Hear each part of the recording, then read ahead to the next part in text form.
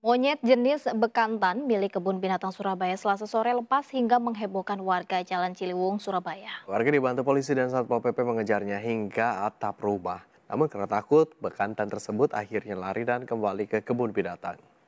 Inilah monyet berjenis bekantan milik Kebun Binatang Surabaya yang lepas di kawasan Jalan Raya Ciliwung, Surabaya.